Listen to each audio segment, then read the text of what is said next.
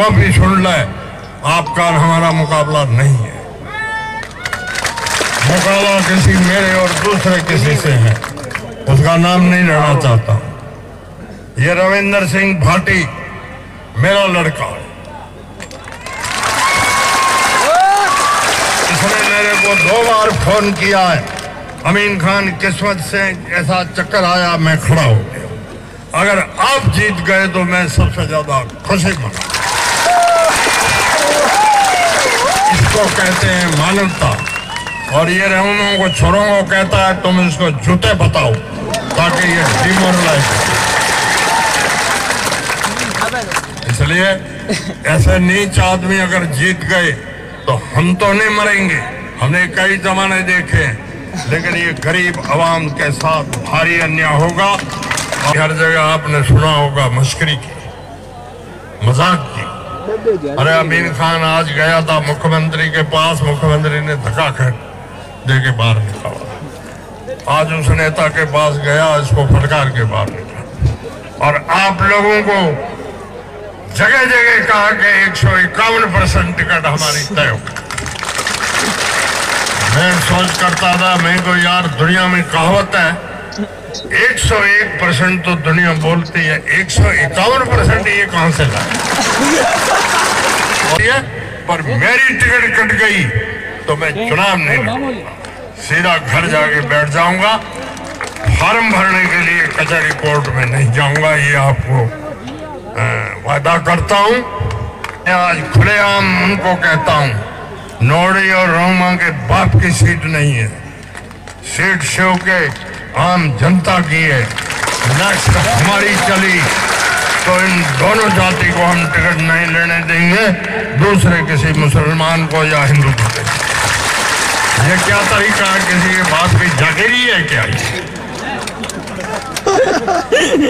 गागरिया में मदरसा जलाया गया। पता नहीं किसने जलाया, लेकिन नाम एक मेघवाल का आया। और कलेक्टर बाड़मेर में मेघवाल था। उस मौलवी बली मोहम्मद को डिफेंस रूल ऑफ़ इंडिया के तहत अंदर करना चाहता था, उस मेघवाल को बेगुना फंसाने के इल्ज़ाम के कारण। मैं कलेक्टर को पगे पड़ा। फिर भी कलेक्टर ने मेरी बात नहीं मानी। जगन्नाथ पहाड़िया मुख्यमंत्री था। उसके पास जाके मैंने थोड़ा किया तो बली मोहम्मद जी छूटे न जाते जेल पिछले चुनावों में उदाराम खड़े थे आरएलपी से। आपके शेड्यूल कास्ट के मास्टरों ने एक एक महीने की उसको तनख्वाह दी। लेकिन मैंने किसी राज्य के कर्मचारी मेघवाल की एक भी शिकायत नहीं की है अगर की है तो कोई बताओ न किसी जाट कर्मचारी की शिकायत की। जारी लो जारी लो मैंने मेरे ईमानदारी से पूरा वक्त गुजारा है। आप लोगों से अपील है कि ये कांग्रेस कमज़ोर हो गई।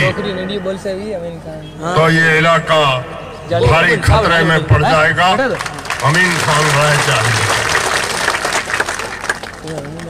फतेह मोहम्मद जिला कांग्रेस के अध्यक्ष थे। बीस सूत्री प्रोग्राम के भी अध्यक्ष थे। इसके अंडर में सात एमएलए थे एक प्रमुख था एक एमपी था और सत्रह प्रधान थे। एमएलए से ज़्यादा इसकी हैसियत थी। लेकिन इसने चारा घोटालों में दूसरे कई फर्जे धंधों में रुपए ज़्यादा इकट्ठा कर लिया। इसलिए इसको घमंड हो गया कि अब मैं सीधा एमएलए बनूं देखिए, आप लोग भी सच बोलो। हमारे से भी सच की उम्मीद रखो। टिकट मांगने से पहले मैंने इस विधानसभा निर्वाचन क्षेत्र का आरई सर्कल बिजराल चोटल, तहसील रामसर, तहसील गढ़रा रोड और तहसील शिव के मुखिया 500 मुसलमानों को मेरी ढाणी बुलाया था दो दिन में।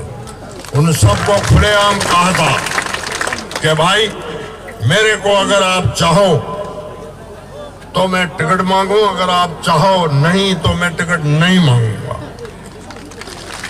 और अभी भी मैं आपसे वायदा नहीं लेना चाहता हूँ कि वायदा दे उठो। मैंने ये कहा था, महीनों, बीस दिन, चालीस दिन, सोच के मुझे कह देना कि साहब, आप पसंद नहीं हो तो मैं टिकट नहीं मांगूँगा। इसी प्रकार करीब तीन सौ, साढ़ा तीन सौ राजपूत मुखियानों को रामसर ज्वार जिला की कोठड़ी में रोटी पानी का खर्चा उन्होंने किया और करीब साढ़े तीन सौ राजपूत मुखिया आया उनसे भी यही राय ली। उन्होंने कहा, हम आपसे कोई नाराज़ नहीं। इसी प्रकार बाद में राणासर गाँव में हज़ार पंद्रह सौ मेघवाल मुखियों को बुलाया गया। उनसे भी राह ली गई उन्होंने भी कहा कि हमें कोई बधाइयाँ और जाटों से भी धरासर में और भियाड़ गाँव में मैंने राय ली। उसके बाद में मैंने टिकट मांगने की भी सोच रहा था और मेरी उम्र के लिहाज से मैंने कहा, टिकट छोरे को दिला कांग्रेस पार्टी ने फैसला कर दिया। किसी एमएलए, एमपी के लड़के या लड़की को टिकट नहीं तब मुझे आना पड़ा। तो अभी मैं टिकट इसकी काटने में नहीं जाता। इन्होंने